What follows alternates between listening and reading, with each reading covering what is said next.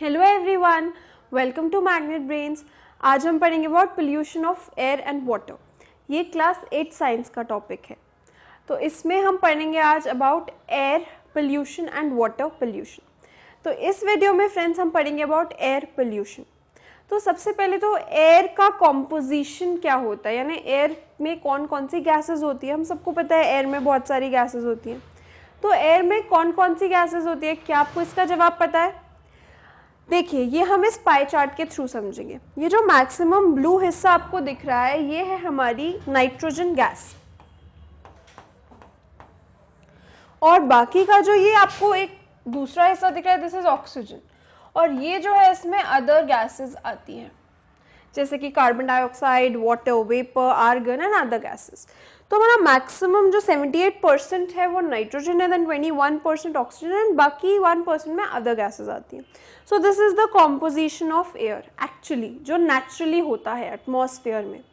But अगर इसमें हम कुछ कंटेमिनेशन कर दें यानी हम अगर इसमें आ, कुछ और गैसेस आ जाए हमारी एक्टिविटीज़ की वजह से जो कि हार्मफुल भी हो तो इसी को ही एयर पोल्यूशन कहा जाता है। यानी एयर पोल्यूशन क्या होता है कि जो एयर की कॉम्पोजिशन है उसका डिस्टर्ब हो जाना उसमें और गैसेस जैसे कि अगर मैं बात करूँ जब हम आ, बात करते हैं जब हम गाड़ी चलाते हैं उसकी तो गाड़ी से जो फ्यू आ, निकलता है स्मोक निकलता है जो धुआँ निकलता है उसमें बहुत सारी पॉइजनस गैसेज होती है। जैसे कि carbon dioxide nitrogen dioxide sulphur dioxide तो ये जो सारी गैसेज हैं ये सपोज़ यहाँ पर कार्बन डाइऑक्साइड का परसेंटेज है कुछ। अब अगर ह्यूमन एक्टिविटीज़ की वजह से कार्बन डाइऑक्साइड निकलेगी तो कार्बन डाइऑक्साइड का परसेंटेज तो बढ़ जाएगा। यानी कि जो नेचुरल परसेंटेज है एटमॉस्फेयर का वो डिस्टर्ब हो जाएगा जो गैसेस का परसेंटेज है। तो इसी आ, का ही आ, किसी भी गैस का जो हार्मफुल हो उसका परसेंटेज का बढ़ जाना ही क्या कहलाता है? पोल्यूशन एयर पोल्यूशन तो एयर पोल्यूशन गैसेस के द्वारा कॉज होता है। तो जो आपकी ऑटोमोबाइल एग्जॉस्ट है, जैसे कि नाइट्रोजन की ऑक्साइड, सल्फ़र की ऑक्साइड्स निकलती है, वो क्या करती है? वो एयर को कंटेमिनेट कर देती है, यानी उससे पॉल्यूट कर देती है। और इसीलिए हम उन सब्सटेंसेस को बोलते हैं पॉल्यूटेंट्स और इस प्रोसेस को हम बोलते हैं एयर पोल्यूशन सो हमको पता है कि ऑक्सीजन कितनी होती है और नाइट्रोजन कितनी होती है। तो ऑक्सीजन और नाइट्रोजन का परसेंटेज पता है हमें, उसके अलावा जो गैसेस होती है, वो भी हमें पता है। एयर पोल्यूशन क्या होता है? जब ये अनवांटेड गैसेस जो है एयर में आ जाए, उसी को हम क्या बोलते हैं? एयर पोल्यूशन तो क्या ये एयर पोल्यूशन हमारे लिए यूज़फुल होगा कि हार्मफुल ऑफ़ कोर्स ये हमारे लिए हार्मफुल होता है। इसीलिए हम बोल रहे हैं अनवांटेड सब्सटेंसेस तो ये एयर पोल्यूशन जो है लिविंग और नॉन लिविंग दोनों ही चीज़ों के लिए हार्मफुल होता है। क्यों? क्योंकि ह्यूमन बींग्स में ये रेस्पिरेटरी प्रॉब्लम्स कॉज करेगा। अगर मैं पॉइजनस एयर को इनहेल करूँगी तो वो मुझे रेस्पिरेटरी प्रॉब्लम्स कॉज करेगा लंग्स को डैमेज कॉज करेगा। और वहीं मैं अगर बात करूँ ताजमहल की तो हमें पता है ताजमहल जो है, वो उसका जो वाइट मार्बल है, वो ख़राब होता जा रहा है ड्यू टू एसिड रेन तो ये जो गैसेस हैं, जो एसिड रेन में रिज़ल्ट कर रही हैं, वो नॉन लिविंग थिंग यानी कि मॉन्यूमेंट्स को भी खराब कर रही हैं। So I hope this is clear to you तो अब हम आगे और डिटेल में पढ़ेंगे about air pollution and its causes तो हमें पता है पोल्यूशन जो कॉज करेगा, उसको हम पोल्यूटेंट्स बोलेंगे। तो एयर पोल्यूशन जो कॉज करेगा, उसको हम एयर पोल्यूटेंट्स बोलेंगे। तो क्या कॉजेज हैं? जैसे कि आप यहाँ देख सकती है फैक्ट्री है इसमें से बहुत सारा स्मोक निकल रहा है। तो स्मोक के साथ साथ यहाँ पे कुछ डस्ट पार्टिकल्स भी निकल रहे हैं। तो स्मोक तो गैस का फॉर्म है उसमें बट कुछ पार्टिकल्स हैं। तो उसको हम पार्टिकुलेट मैटर भी बोल देते हैं। तो ये जो एयर में जा रहा है, ना ही केवल पॉइजनस गैसेस जा रही है बट उसके साथ कुछ और पार्टिकल्स सॉलिड पार्टिकल्स भी जा रहे हैं। जो कि एयर में सस्पेंडेड रहेंगे, यानी एयर में प्रेजेंट रहेंगे। तो क्या करेंगे? एयर की क्वालिटी को ख़राब कर देंगे और इसी को हम क्या बोलते हैं? एयर पोल्यूशन तो ये एयर पोल्यूशन के क्या क्या कॉजेज और होते हैं? आइए देखते हैं। तो एक तो हमने आपको फैक्ट्रीज बता दिया। ये तो एक मैन मेड कॉज हुआ। एक ऑटोमोबाइल्स एग्जॉस्ट उसमें से जो धुआँ निकलता है, वो भी एयर को क्या करता है? पल्यूट करता है। तो ये हमने पढ़ लिए कुछ मैन मेड कॉजेज़ बट अगर मैं नेचुरल कॉजेज़ की बात करूँ वॉलकैनो जब इरप्ट करती है ना वॉलकैनो जहाँ भी निकलती है वहाँ भी बहुत सारे धुएँ होते हैं। तो वॉलकैनिक इरप्शन से भी क्या हो रहा है? भले वो नेचुरल है बट वॉलकैनिक इरप्शंस भी क्या कर रही है? अपने आसपास की एयर को कंटामिनेट या फिर पल्यूट कर रही है। सो so, जो हमारी वॉलकैनिक इरप्शन है that is also a cause and forest fires की अगर मैं बात करूँ फॉरेस्ट में आग अपने आप लग जाती है। तो सूखे पत्तों में जब आग अपने आप लग जाएगी तो क्या इससे धुआँ नहीं निकलेगा? एशेस प्रोड्यूस होंगी। तो ये जो धुआँ है, ये अगेन एयर पोल्यूशन है but this is natural so forest fire और वॉल्केनिक इरप्शन जो है, वो नेचुरल है। वो मैनमेड एक्टिविटी से नहीं हो रहा है but vehicles exhaust factories power plants vehicles burning of fuels ये सब मैनमेड कॉजेज हैं। तो आई होप ये आपको समझ में आ गया है। अब होता क्या है इनसे? पॉइजनस गैसेस रिलीज़ होती है। जैसे कि आप यहाँ देख सकते हैं। तो ये गैसेस करती क्या है? ये गैसेस जो है, अगर हम इन्हें इनहेल कर ले तो हमारे ऊपर इनका जो है, बहुत ज़्यादा प्रभाव होता है। जैसे कि अगर मैं बात करूँ, मुझे पता है कि मेरी बॉडी के लिए ऑक्सीजन गैस बहुत ज़रूरी है।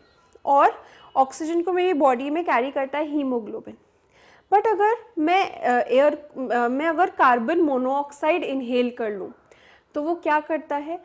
वो हीमोग्लोबिन के साथ कंबाइन हो जाता है और अब हीमोग्लोबिन ऑक्सीजन की बजाय कार्बन मोनोऑक्साइड को पूरी बॉडी में ले जाएगी। तो वो जो है, मेरी बॉडी के लिए बहुत हार्मफुल हो सकता है। It may even lead to death तो आइए अब हम और कॉजेस पढ़ते हैं। अगर मैं बात करूँ स्मॉग स्मॉग क्या होता है? जैसे कि वर्ड ही बता रहा है smog is nothing but smoke plus fog तो हम इस वर्ड से ही समझ समझ सकते हैं कि it is nothing but smoke plus fog तभी उसको हमने जोड़ करके स्मोक बनाया।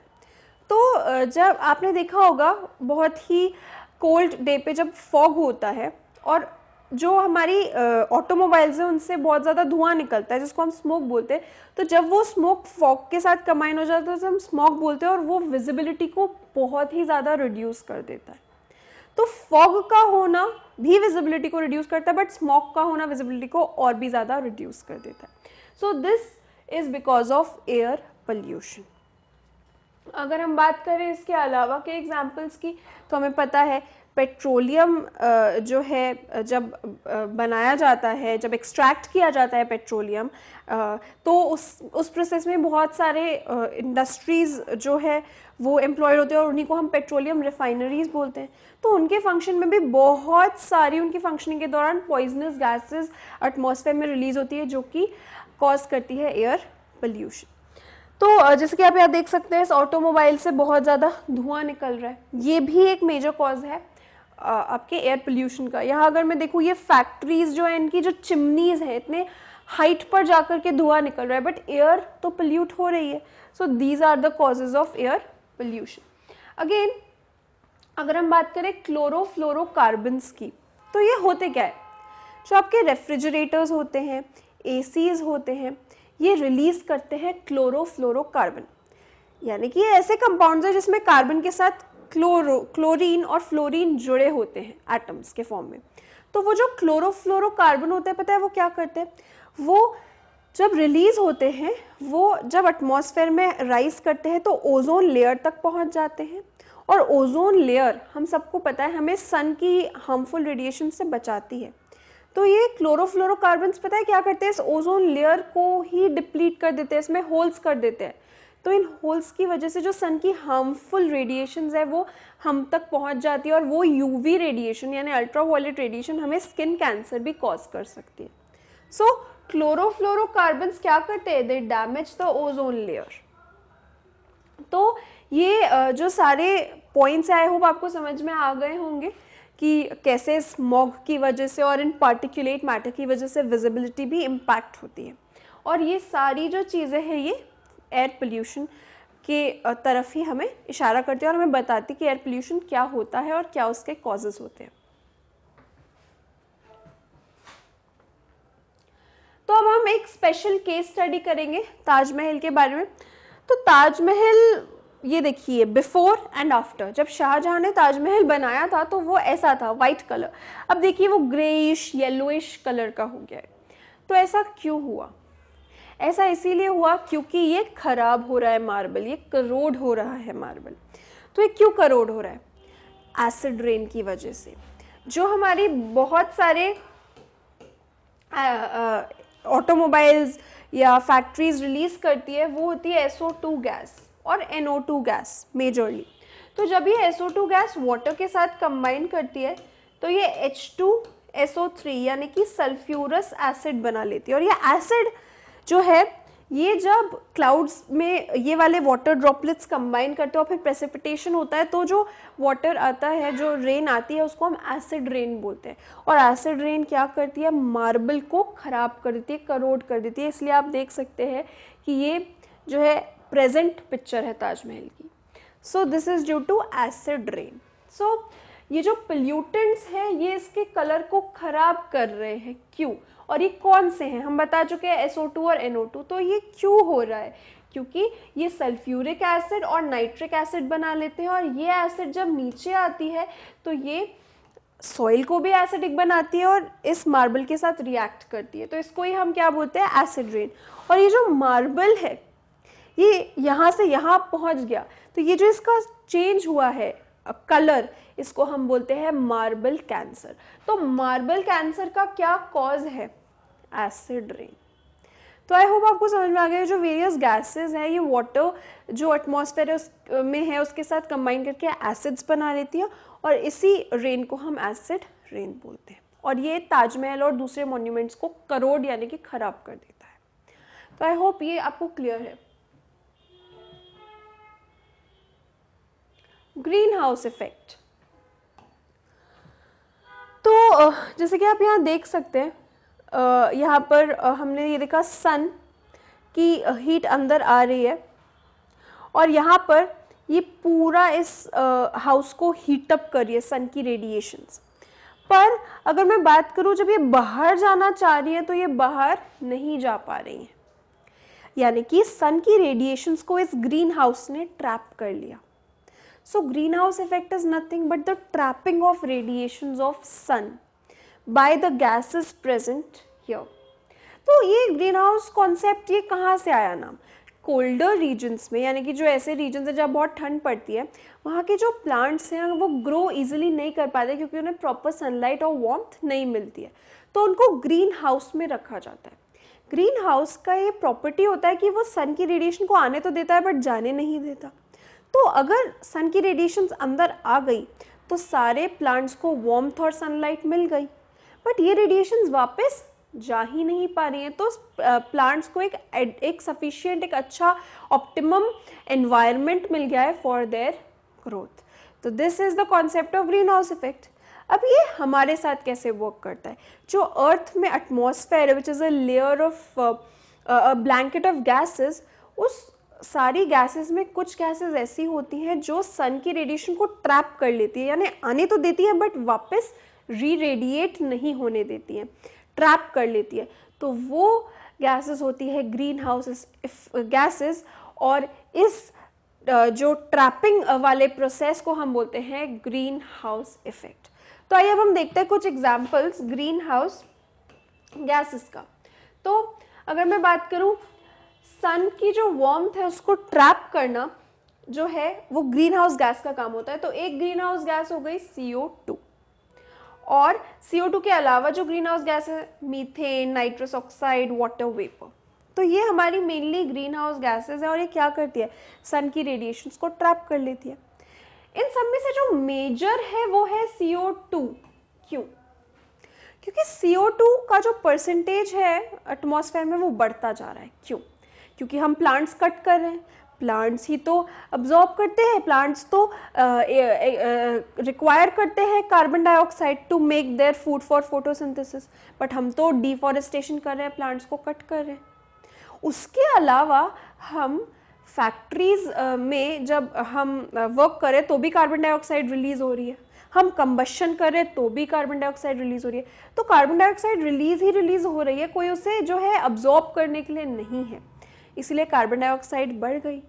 एटमॉस्फेयर में जैसे ही कार्बन डाइऑक्साइड का परसेंटेज बढ़ा और वो एक ग्रीन हाउस गैस है तो क्या होगा? वो सन की वॉम्थ को ट्रैप कर लेगी, जिसकी की वजह से जो है पूरे अर्थ का टेम्परेचर धीरे धीरे बढ़ना स्टार्ट हो जाएगा।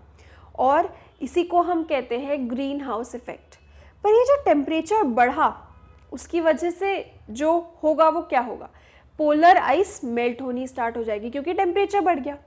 तो ये एवरेज इंक्रीज जो पूरे अर्थ के टेम्परेचर का हुआ, उसको हम बोलते हैं ग्लोबल वार्मिंग और ग्लोबल वार्मिंग क्यों होती है? ग्रीन हाउस गैसेस की वजह से. क्योंकि वही सन की लाइट को एनर्जी को ट्रैप कर लेते हैं, जिसकी वजह से टेम्परेचर बढ़ जाता है. तो आई होप ये आपको समझ में आ गया कि कैसे CO2 का जो है परसेंटेज बढ़ रहा है डिफॉरेस्टेशन से और ह्यूमन एक्टिविटीज़ से. So I hope this is clear to you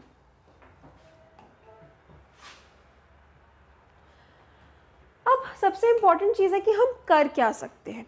तो अगर मैं बात करूँ दिल्ली की केस स्टडी की तो दिल्ली में ऐसा हुआ था कि बहुत ज़्यादा पोल्यूशन का लेवल बढ़ता ही जा रहा था, बढ़ता ही जा रहा था।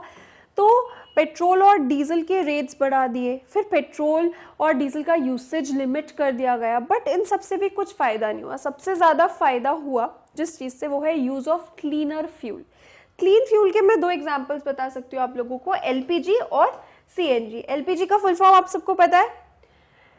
Me the full form of L P G it is liquefied petroleum gas and C N G compress natural gas तो हमने देखा होगा सीएनजी के सिलेंडर्स कुछ गाड़ी में रखे होते हैं। तो सीएनजी और एलपीजी क्लीन फ्यूल्स हैं। यानी कि उनकी बर्निंग से बहुत ज़्यादा पॉइजनस गैसेस रिलीज़ नहीं होती हैं एटमॉस्फेयर में। इसलिए उनको प्रेफर किया गया दिल्ली में और उसकी वजह से उसका पोल्यूशन लेवल थोड़ा कम हो गया।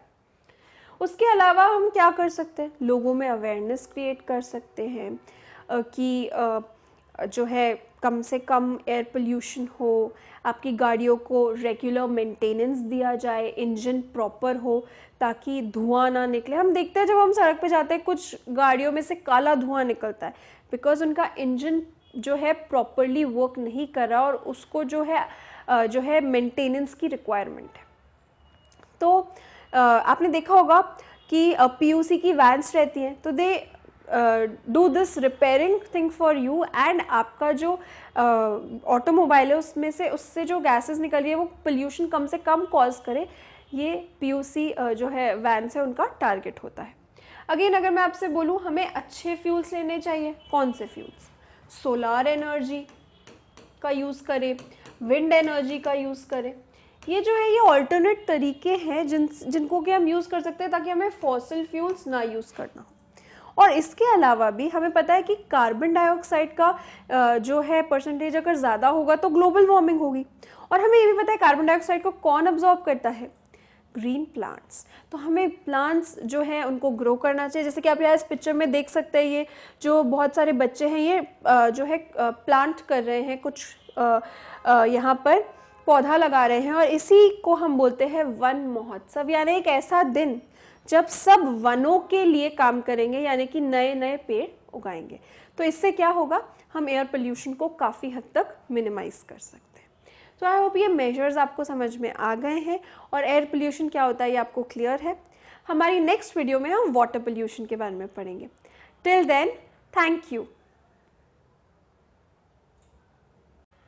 hello everyone welcome to Magnet Brains आज हम पढ़ेंगे about pollution of air and water तो इसकी प्रीवियस वीडियो में हमने पढ़ा था अबाउट एयर पोल्यूशन और आज की वीडियो में हम पढ़ेंगे अबाउट वाटर पोल्यूशन तो फ्रेंड्स इससे पहले मैं आपको ये बता दूँ कि क्या आप अपने प्रेजेंटली क्लास टेंथ बोर्ड में हंड्रेड और हंड्रेड मार्क्स लाना चाहते हैं?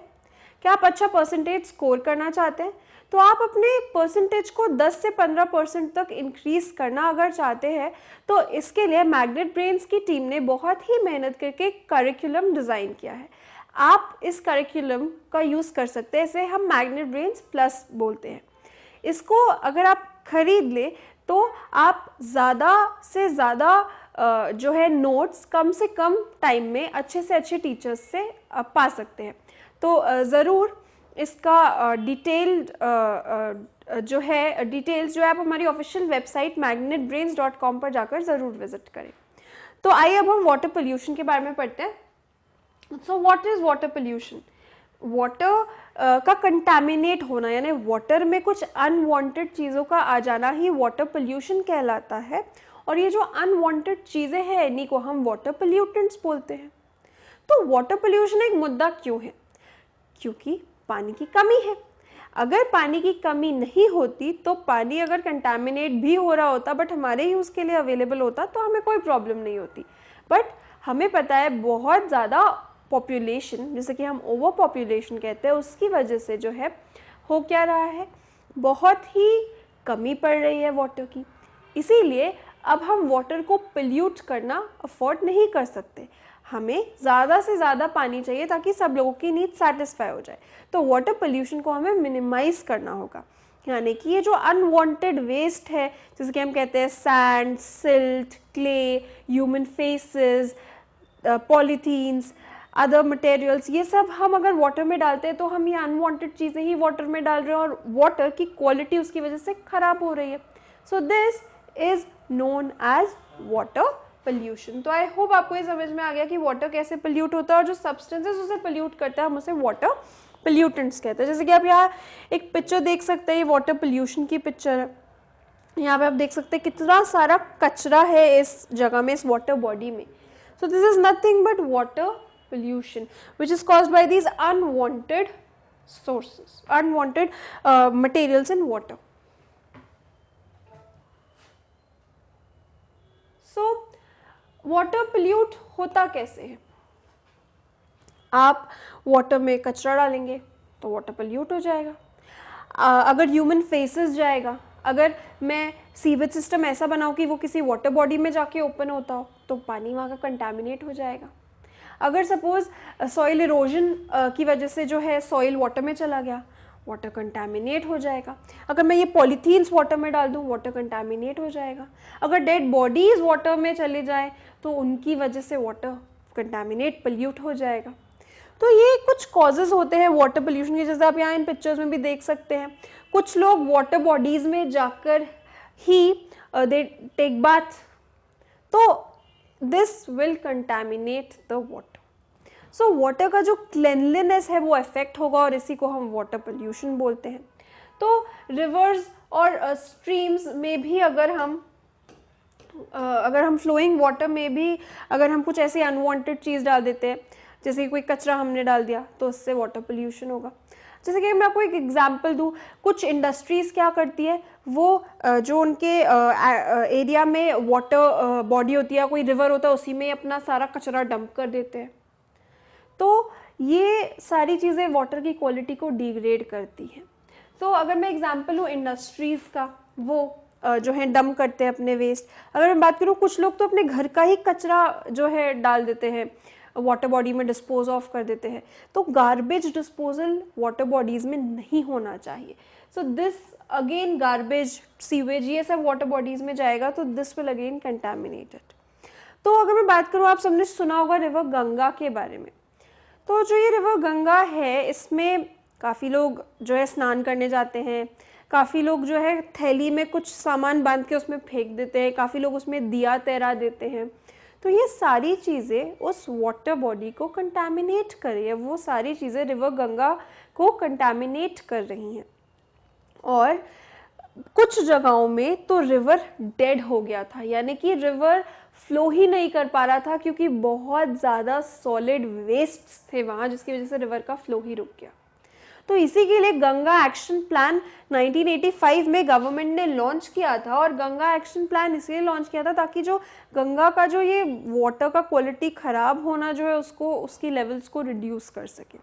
बट वो भी काम में नहीं आया तो उसके बाद एनएमसीजी जो है लॉन्च हुआ 2016 में which is national mission for clean Ganga तो गंगा को अब क्लीन करना है. पहले जो था, वो था कि उसको आप पोल्यूशन को वाटर पोल्यूशन को मिनिमाइज कीजिए. अब ऐसा हो चुका है कि रिवर इतना गंदा हो चुका है, इतना उसमें कचरा भर चुका है कि अब उसे क्लीन करने की नौबत आ गई है.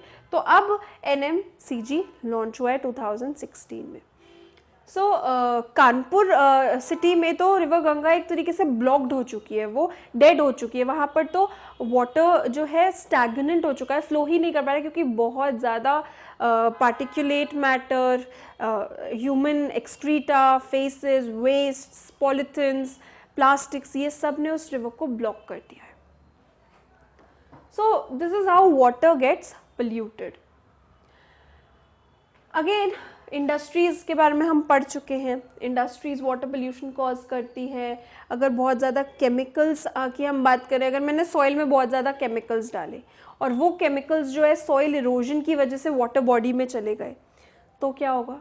सॉइल सॉइल इरोजन की वजह से वाटर पोल्यूशन हो जाएगा। अगेन यहाँ पे आप देख रहे हैं कि ये इंडस्ट्री से जो पानी आ रहा है this is black water this is untreated water ये रिवर बॉडी में आ रहा है। तो ये इस रिवर बॉडी को भी ये वाटर क्या कर रहा है? कंटेमिनेट कर रहा है अगेन वाटर पोल्यूशन कर रहा है। So untreated sewage and other bacteria which is present in the sewage अगर सपोज़ uh, मैं ह्यूमन फेसिस को यहाँ पर डाल दूँ तो ये पानी जो है ये कंटेमिनेट हो जाएगा। क्या ये वाटर फिट होगा फॉर ड्रिंकिंग नहीं क्योंकि इसमें बहुत सारे ऐसे बैक्टीरिया होंगे जो डिसीज कॉजिंग होंगे। यानी कि अगर इस वाटर बॉडी का कोई वाटर कंज्यूम कर ले, कोई पानी पी ले तो क्या होगा, उसे बहुत सारे डिसीजेस हो सकते हैं। तो आई होप आपको समझ में आ गया कि वाटर पोल्यूशन होता कैसे है। वॉट आर द सोर्सेज अब हम कैसा पानी पीते हैं? जो पानी फिट फॉर कंजम्पशन हो, हम उसे क्या बोलते हैं? जो फिट फॉर ह्यूमन कंजम्पशन हो ह्यूमन ड्रिंकिंग के लिए जो वाटर फिट होता है, उसे हम बोलते हैं पोर्टेबल वाटर और आप सबको पता है कि आप ऑफकोर्स नल से तो पानी पीते नहीं अपने घरों में। आपके घर में आरओ सिस्टम्स लगे हैं, जिनमें कि एक प्रॉपर प्यूरीफायर सिस्टम होता है, जो कि आपके वाटर में से सारे सस्पेंडेड पार्टिकल्स इम्प्योरिटीज़ उन सबको जर्म्स को किल कर देता है। तो क्या कभी आप पानी पीते तो आपको उसमें कुछ इम्प्योरिटीज़ दिखाई देती है? नहीं। क्योंकि वो ऑलरेडी फिल्टर्ड वाटर होता है। और उसके अलावा भी हम उसमें ऐसे केमिकल्स ऐड करते हैं जो जर्म्स को किल कर दें। जो ऐसे जर्म्स हैं जो हमारी आइज़ के थ्रू हमें नहीं दिख रहे, उनको भी किल कर दें। ताकि अगर हम कंटामिनेटेड वाटर पिएँगे तो हमारी बॉडी में डिसीजेज हो जाएँगे। तो that is why we need to purify the water and for that we use the purifier और the filter and one example is candle type filter again हम और क्या कर सकते हैं?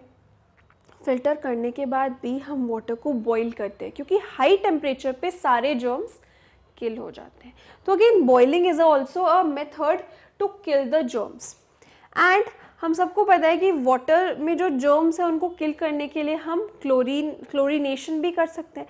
तो क्लोरीनेशन से भी क्या होता है? उसका भी क्लोरीन का भी एक्शन जर्मीसाइडल होता है, यानी जर्म्स को वो किल कर देता है। So you can also go for chlorination so ये मेथड्स आपके वाटर को प्योरीफाई कर देंगे and it converted into portable water so I hope this is clear to you अब वाटर पोल्यूशन को कैसे रोका जाए?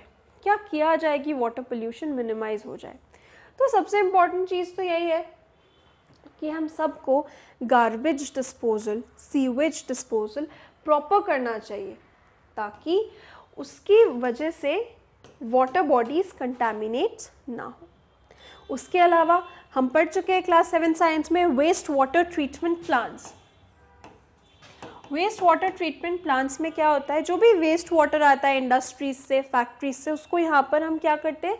क्लीन करते हैं थ्रू वेरियस स्टेजेस और फिर उसे हम रिवर बॉडी में डंप करते हैं। तो वेस्ट वाटर ट्रीटमेंट प्लांट्स जो इंडस्ट्रीज़ हैं उनका जो वेस्ट वाटर है वो डायरेक्टली रिवर बॉडीज़ में डंप नहीं होना चाहिए। उसे वेस्ट वाटर ट्रीटमेंट प्लांट तक जाना चाहिए और वहाँ से ट्रीटमेंट के बाद वो वाटर को रिवर बॉडीज़ में या वाटर बॉडीज़ में डिस्चार्ज करना चाहिए। सो so, सबसे इंपॉर्टेंट क्या है कि पोल्यूटेड वाटर को डायरेक्टली हमें नहीं डालना है रिवर्स और लेक्स में। हमें कहाँ भेजना है? वाटर ट्रीटमेंट प्लांट्स में। और हमें हमारे वाटर जो है, उसका यूसेज लिमिट करना चाहिए। और उसमें वेस्ट वेस्ट गार्बेज इस सब का डंप करना हमें एकदम मिनिमाइज कर देना चाहिए।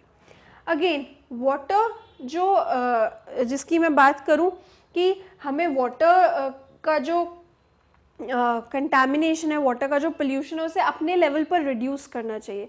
उसको करने का एक तरीका है कि हम वाटर को रीयूज़ कर लें। कैसे? सपोज़ मैंने जिस पानी को यूज़ किया वेजिटेबल्स को वॉश करने के लिए, अगर मैंने उसको गार्डनिंग में यूज़ कर लिया, क्या मैं यूज़ कर सकती हूँ? हाँ। अगर मैं आपसे पूछूँ, क्या हम उसे ड्रिंकिंग के लिए यूज़ कर सकते हैं? तो no but at least I can use it to water my plants तो इससे क्या हुआ? मैंने सेम वाटर को रीयूज़ किया। तो इस तरीके से जो है, हम वाटर जो है, उसको, उसके यूसेज को मिनिमाइज़ कर सकते हैं, उसके वेस्टेज को भी मिनिमाइज कर सकते हैं और एक तरीके से वो हमारी वाटर स्कैसिटी वाली प्रॉब्लम को सॉल्व कर देगा तो आई होप ये मेजर्स आपको क्लियर है। वेस्ट वाटर ट्रीटमेंट प्लांट कैसा दिखता है आप यहाँ देख सकते हैं। और अगर हम सारा जो हमारा वेस्ट है उसको डायरेक्टली रिवर बॉडीज़ में डंप करने से पहले उसे ट्रीट करें तो वाटर पोल्यूशन की प्रॉब्लम मैक्सिमम तक सॉल्व हो सकती है। तो आई होप आपको ये समझ में आ गया हो। हमारी नेक्स्ट वीडियो में हम इस चैप्टर के N C R T solutions पढ़ेंगे till then thank you hello everyone welcome to Magnet Brains आज हम पढ़ेंगे about pollution of air and water इस चैप्टर के N C R T solutions को. तो इस वीडियो में सारे एन सी आर टी के क्वेश्चंस जो हैं इस चैप्टर से वो डिस्कस्ड है, यानी एयर पोल्यूशन और वाटर पोल्यूशन पे बेस्ड जो क्वेश्चंस हैं, उनका सोल्यूशन हम आज देखेंगे. तो first question what are the different ways in which water gets contaminated तो तीन जगहें हैं जहाँ से वाटर जो है कंटामिनेट हो सकता है एक तो जो इंडस्ट्रीज़ से वेस्ट रिलीज़ होता है वहाँ से फिर जो एग्रीकल्चर से जो हम फ़ूड और क्रॉप्स ग्रो करते हैं तो जो वेस्ट्स होते हैं उनकी वजह से भी वाटर पोल्यूट हो सकता है। तो ये जो दो वेज है ये सबसे ज़्यादा जो है कंटेमिनेट करते हैं। उसके अलावा जो तीसरा वे है दैट इज़ सीवेज जो ह्यूमन फेसेस वगैरह होता है जिसको हम कलेक्टिवली सीवेज बोलते हैं तो वो सीवेज वाटर जो है वो भी अगर वाटर बॉडीज़ में डिस्चार्ज कर दिया जाए तो वाटर को पल्यूट कर देता है। uh, तो आइए हम नेक्स्ट क्वेश्चन देखते हैं। At an individual level, how can you help to reduce air pollution? तो एयर पोल्यूशन को आप कैसे रिड्यूस करेंगे? सबसे पहले तो जब शॉर्ट डिस्टेंसेज हो तो व्हीकल्स ना यूज़ करें और पैदल जाने की कोशिश करें। अगेन अगर आप जा रहे हैं, बहुत सारे लोग किसी कॉमन डेस्टिनेशन पे तो कार पूल सिस्टम का यूज़ करें। यानी कि सारे लोग एक ही कार में बैठकर जाएँ। ये जो दो मेथड्स हैं, ये सबसे इंपॉर्टेंट है, जो कि फ्यूल का जो कंजम्पशन है, वो उसे मिनिमाइज कर सकती है। उसके अलावा आप जो है और भी बहुत सारे इको फ्रेंडली मेथड्स यूज़ कर सकते हैं, यानी कि आप क्लीनर फ्यूल यूज़ कर सकते हैं, जैसे कि LPG and C H G liquefied petroleum gas जो है, वो जो है जब हम उसको एज अ फ्यूल यूज़ करते हैं तो जो उसके बाई प्रोडक्ट्स होते हैं ना, वो इतने ज़्यादा हमारे लिए हार्मफुल नहीं होते हैं। तो यही हमने बताया कि क्लीनर फ्यूल्स आपको यूज़ करने हैं। उसके अलावा जो घर में और फैक्ट्रीज़ में चिमनीज़ हैं, उनसे जो डस्ट और स्मोक और पार्टिकल्स निकलते हैं, उसको मिनिमाइज़ अगर हम करें तो वो पल्यूट नहीं करेगा एयर को। So this will help in reduction of the air pollution level again अगर मैं बात करूँ गार्बेज की बात अगर करें गार्बेज जो है, उसको हम प्रॉपर तरीके से डिस्पोज करें तो उससे क्या होगा? अगर हम उसे जो है वाटर बॉडीज़ में ना फेंकें तो उससे वाटर पोल्यूशन जो है, वो रिड्यूस हो सकता है। सो आई होप ये कुछ मेथड्स आपको समझ में आ गए कि आप कैसे रिड्यूस कर सकते हैं पोल्यूशन को। और स्पेसिफिकली अगर हम बात करें एयर पोल्यूशन की तो एयर पोल्यूशन जो है, उसके लिए आपको फ्यूल का यूसेज कम करना है या फिर क्लीन फ्यूल का यूसेज करना है। और उसके अलावा आपको जो है एयर पोल्यूशन जो है स्मोक और नाइट्रोजन डाइऑक्साइड कार्बन डाइऑक्साइड इन सब गैसेस की वजह से होता है तो ये कब रिलीज़ होता है? जब कम्बशन होता है किसी भी फ्यूल का। या फिर अगर मैं बात करूँ, अगर बहुत सारा कचरा इकट्ठा हो गया और हम उसे बर्न कर देते हैं तो भी बहुत ज़्यादा स्मोक और एशेज प्रोड्यूस होती है तो वो स्मोक अगेन एयर को पल्यूट करती है। तो इसीलिए हमें सारे गार्बेज को प्रॉपरली डंप करना चाहिए, ना कि उसे जो है बर्न करना चाहिए। तो आई होप ये पॉइंट्स आपको क्लियर है।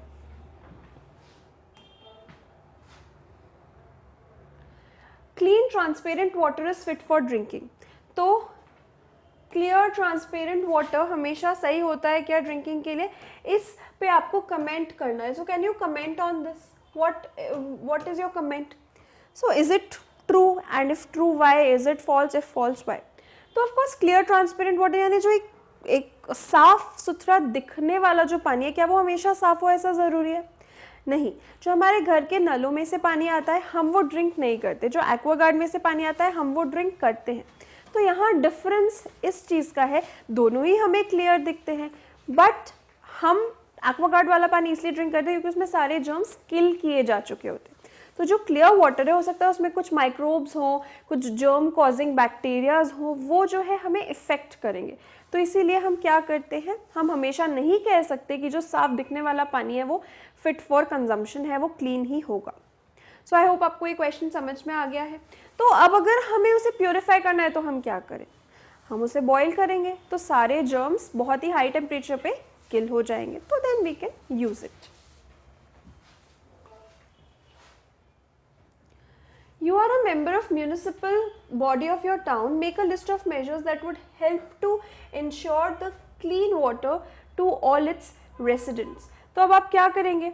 सबसे पहले तो जो मेन सोर्स है वाटर का, जहाँ से जो मेन वाटर सप्लाई है, वहाँ पर ही सबसे पहले तो वाटर जो है, वहाँ से ही हर जगह सप्लाई होगा तो इट शुड बी क्लीन वहाँ पर ही क्लिनलीनेस मेजर्स और जो है प्योरीफाई हो जाना चाहिए वाटर कैसे प्योरीफाई करेंगे? बाय किलिंग द जर्म्स आप उसमें क्लोरीनेशन कर सकते हैं. क्लोरीन क्या करता है? जर्म्स को जो है किल कर देता है। So these are some measures which you can follow again जो पाइपलाइंस है वो क्लीन होनी चाहिए। नहीं तो पता चले हमने तो वाटर को प्योरीफाई करा दिया बट पाइपलाइंस गंदी है तो उसमें जाकर वो वाटर फिर से गंदा हो गया।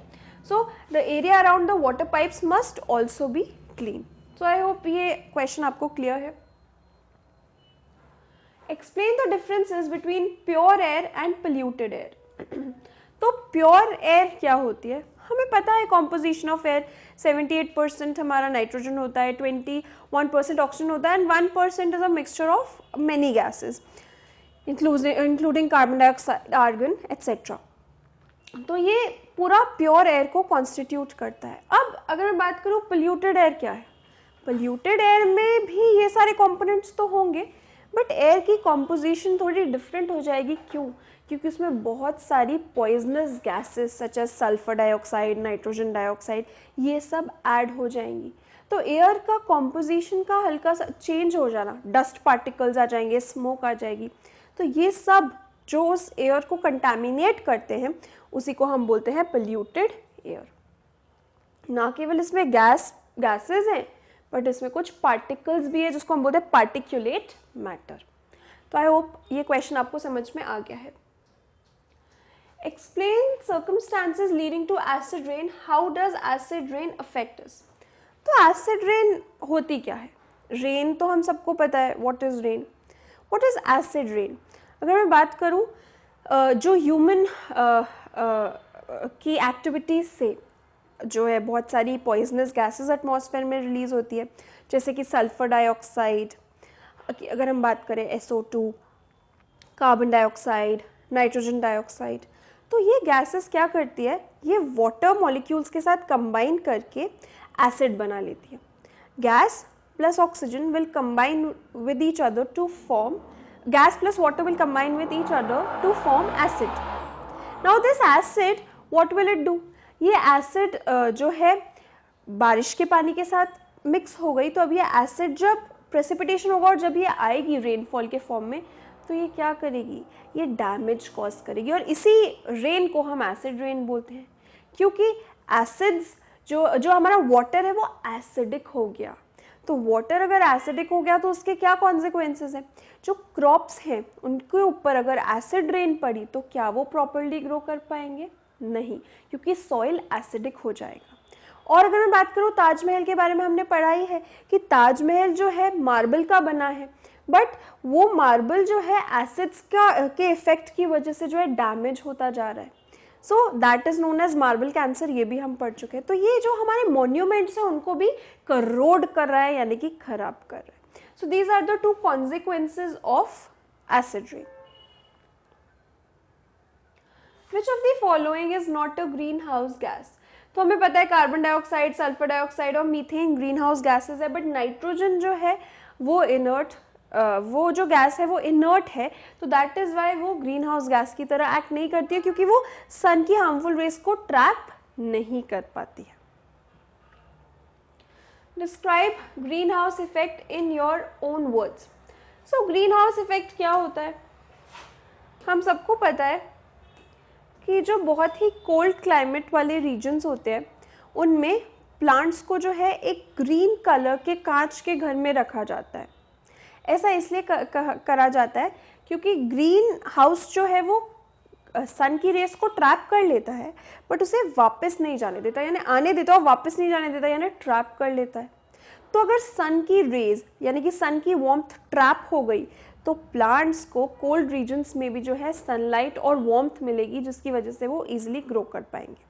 So this is the concept of green house अब अर्थ पे क्या होता है? अर्थ का जो एटमॉस्फेयर है, वो भी इसी तरीके से एक्ट करता है, जो ब्लैंकेट ऑफ़ एयर है। वो रेडिएशंस जो आती हैं अंदर, उन सारी रेडिएशंस को वापस नहीं जाने देता है, कुछ रेडिएशंस को ट्रैप कर लेता है। और इस ट्रैपिंग की वजह से क्या होता है कि अर्थ का जो टेम्परेचर है, वो बढ़ता जाएगा, क्योंकि वार्मथ बढ़ती जा रही है। तो ये जो गैसेस हैं एटमॉस्फेयर में वो ही ग्रीन हाउस गैसेस कहलाती है क्योंकि वो क्या करती है वो उन सन की रेडिएशंस को ट्रैप कर लेती है for example C O two C H four etcetera so I hope green house effect is clear to you अब ग्रीन हाउस इफ़ेक्ट का एक कॉन्सिक्वेंस होता है ग्लोबल वार्मिंग क्योंकि टेम्परेचर अगर बढ़ जाएगा तो उसकी वजह से uh, क्या होता है? आइस मेल्ट होने लग जाएगी। फ्लडिंग भी हो सकती है फ्लड्स भी आ सकते हैं। तो ये जो एवरेज इंक्रीज इन टेम्परेचर है इसी को हम बोलते हैं ग्लोबल वार्मिंग तो इसीलिए हम कहते हैं कि green house effect leads to global warming तो आई होप ये ग्रीन हाउस इफ़ेक्ट आपको क्लियर है.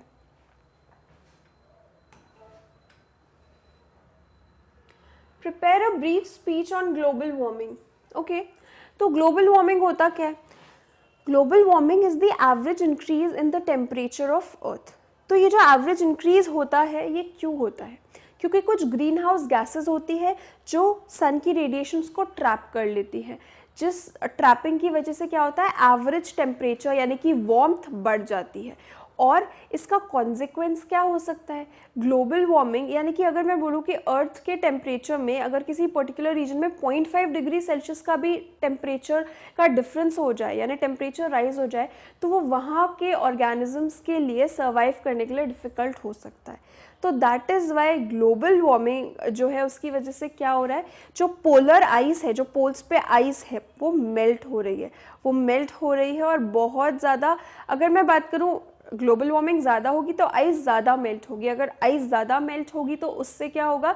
रिवर्स जो है, वो ओवर फ्लड भी हो सकते हैं। तो this is known as flooding so I hope ये आपको समझ में आ गया कि what is global warming it is the average increase in the temperature of earth so ये किसकी वजह से होता है? ग्रीन हाउस गैसेस की वजह से।